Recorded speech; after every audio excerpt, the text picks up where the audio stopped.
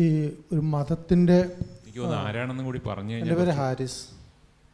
മലപ്പുറം നിന്നാണ് വരുന്നത്. മതത്തിന്റെ ഒരു രീതികൾ രീതികളുമായിട്ട് നമ്മൾ താരതമ്യം ചെയ്യുമ്പോൾ മാർക്സിസത്തിന് മതത്തിൽ നിന്ന് എന്തെങ്കിലും വ്യത്യാസം കാണാൻ കഴിയുന്നുണ്ടോ?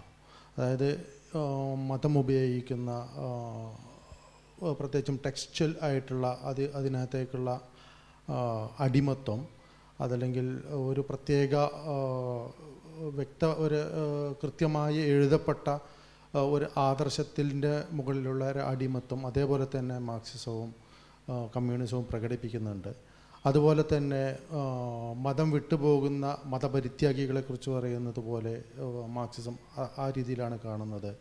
അതുപോലെ രക്തസാക്ഷികളെക്കുറിച്ചുള്ള മതത്തിന്റെ വളരെ ആ, അതേ ചിന്തകൾ തന്നെയാണ് മാർക്സിസത്തിൽ അത് ഈ രക്തസാക്ഷികളെ മഹത്വവൽക്കരിക്കുന്നുണ്ട്. അപ്പോൾ അങ്ങനെ മതത്തിന്റെ എല്ലാ ടെർമിനോളജികളും വ്യത്യസ്തമായ രീതിയിൽ മാർക്സിസത്തിലും ഉൾച്ചേർന്നിട്ടില്ല എന്നുള്ളതാണ് എന്റെ ആദ്യത്തെ ചോദ്യം.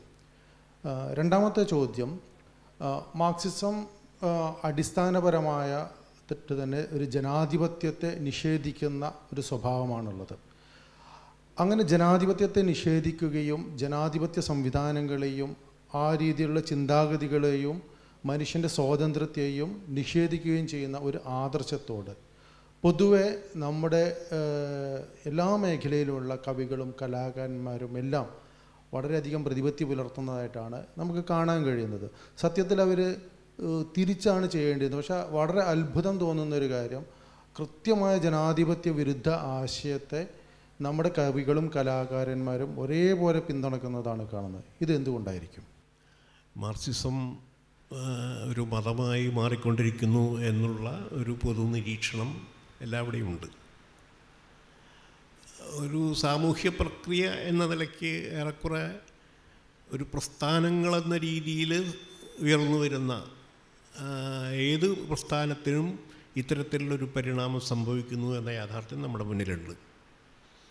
ഒരു ഒരു ചിട്ടയോടുകൂടിയ ഒരു ഒരു പ്രസ്ഥാനമായി മാറുമ്പോൾ അത് പടി പടിപടിയായി അത് വിശ്വാസത്തിന്റെയും എന്താ പറയുക വിശ്വാസത്തിൽ അധിഷ്ഠിതമായ ഒന്നായി അതിൽ പങ്കെടുക്കുന്നവരെല്ലാം തന്നെ അതിനെ കാണാൻ തുടങ്ങുകയും അത് ഫലത്തിൽ മതവൽക്കരണമായി മാറുകയും ചെയ്യുന്നു. മാർക്സിസത്തിനും അത്തരമൊരു പരിണാമം സംഭവിച്ചിട്ടുണ്ട് എന്ന് കരുതുന്ന ഒരാളാണ് ഞാനും. അത് സ്വാഭാവികമായ ഒരു സാമൂഹ്യ പ്രക്രിയയാണ് എന്ന് കാണാം. പക്ഷേ മാർക്സിസ്റ്റുകൾ പൊതുവിൽ അവകാശപ്പെട്ടിരുന്നത് ഒരു വൈരുദ്ധ്യാത്മകമായ പ്രക്രിയയിലൂടെ നിരന്തരം മാറാൻ കഴിയുന്ന ഒന്നായി ആ പ്രസ്ഥാനത്തിന് നിലനിൽക്കാനും വളരാനും കഴിയുമെന്നാണ് അതിന്റെ ഉപജ്ഞാതാക്കളും അതിനെ മുന്നോട്ട് കൊണ്ടുപോയവരൊക്കെ തന്നെ അവകാശപ്പെട്ടിരുന്നത്. എന്നാൽ അതല്ല സംഭവിക്കുന്നത് എന്നൊരു യാഥാർത്ഥ്യമാണ്. മതവൽക്കരണം ഇന്നത്തെ ലോകത്ത് പരിശോധിച്ചു കഴിഞ്ഞാൽ മാർക്സൊക്കെ ശരിക്കും പൂർണമായും തന്നെ മതവൽക്കരിക്കപ്പെട്ട് കഴിഞ്ഞിട്ടുണ്ട്. നമ്മുടെ നാട്ടിലും ആ പ്രവണത തന്നെയാണ് കണ്ടുകൊണ്ടിരിക്കുന്നത്. മാർക്സത്തിന്റെ അടിസ്ഥാനപരമായ ജനാധിപത്യ വിരുദ്ധ സ്വഭാവം എന്ന് പറഞ്ഞാൽ ശരി തന്നെയാണ്. ഞാൻ അത് അംഗീകരിക്കുന്ന ആളാണ് അങ്ങനെയുള്ള ഒന്നിനെ എങ്ങനെ കവികളും കലാകാരന്മാരും ഒക്കെ തന്നെ വലിയ ഇതായിട്ട് ഉയർത്തിപ്പിടിക്കുന്നു എന്നുള്ള ചോദ്യം.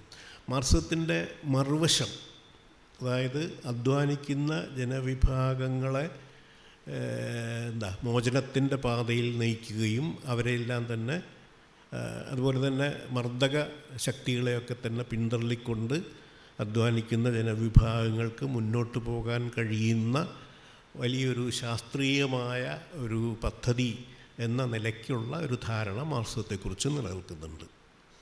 ആ ധാരണയിൽ നിന്നാണ് ഈ പുരോഗമനപരമായി ചിന്തിക്കുന്ന കവികളെയും കലാകാരന്മാരെയൊക്കെ അതിലേക്ക് അടുപ്പിക്കുന്നത്. ആ സങ്കല്പം വളരെ ശക്തമായി തന്നെ നിലനിൽക്കുന്നു എന്നുള്ളൊരു യാഥാർത്ഥ്യമാണ്. പ്രത്യേകിച്ചും പല രാജ്യങ്ങളിലും നടന്ന റഷ്യയും ചൈനയിലും മറ്റു പല രാജ്യങ്ങളിലും നടന്ന വിപ്ലവവും അതുമായി ബന്ധപ്പെട്ടുകൊണ്ടുണ്ടായ ആദ്യകാല പരിണാമങ്ങളും എല്ലാം തന്നെ അങ്ങനെ ഒരു പ്രതീക്ഷയ്ക്ക് വക നൽകുന്നത് തന്നെയായിരുന്നു. അവയുടെ പിൽക്കാല പരിണാമം വേറൊന്നാണ്. ആ പരിണാമത്തിന്റെ ഫലമായി അത് തിരിച്ചറിയുന്ന പലരും ഈ ചിന്താഗതിയിൽ നിന്ന് പിന്നോട്ട് പോയിട്ടുമുണ്ട്.